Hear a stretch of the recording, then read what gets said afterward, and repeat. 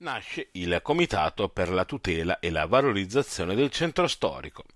Dopo aver raccolto negli ultimi anni le istanze provenienti da diversi cittadini in merito alle più svariate tematiche, è parso opportuno ai promotori di questo nuovo ente convogliare in un organismo unitario le proposte, le osservazioni, le rimostranze dei singoli da sottoporre in maniera collettiva alle autorità locali.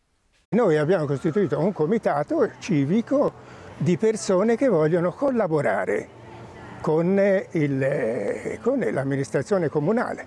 Quindi non vogliamo creare polemiche, non vogliamo contrasti, non siamo qui per alzare, come si dice, i forconi, no?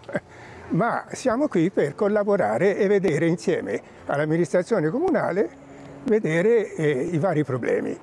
Una delle finalità è quella che l'associazione possa così diventare un collettore di idee per avviare una proficua e fruttuosa collaborazione, al fine di suggerire proposte ed individuare criticità in quell'ottica di partecipazione che il Comune ha proposto anche alle associazioni di commercianti, ma che fino ad oggi non ha raggiunto la sistematicità sperata.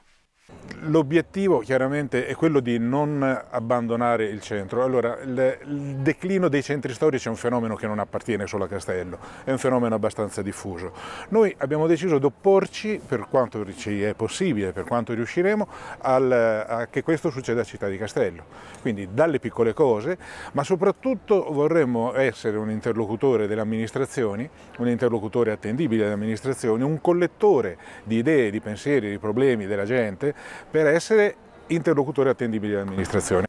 Al centro dei lavori del comitato c'è la ZTL, i parcheggi, la promozione del commercio di qualità, un regolamento che connetta strettamente l'occupazione del suolo pubblico al decoro urbano e imponga il rispetto dei limiti alle emissioni acustiche.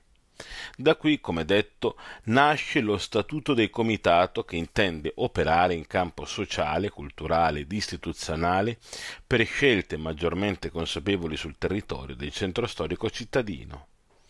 Il comitato esorta gli interessati a mettersi in contatto attraverso la casella di posta elettronica comitatocentrocdc-gmail.com c'è un problema di fondo che è data dal, dall'abbandono della città all'ambopolo della Movida, ma bisogna creare delle alternative, altrimenti la città morirebbe. Il valore del centro storico è dato dai residenti,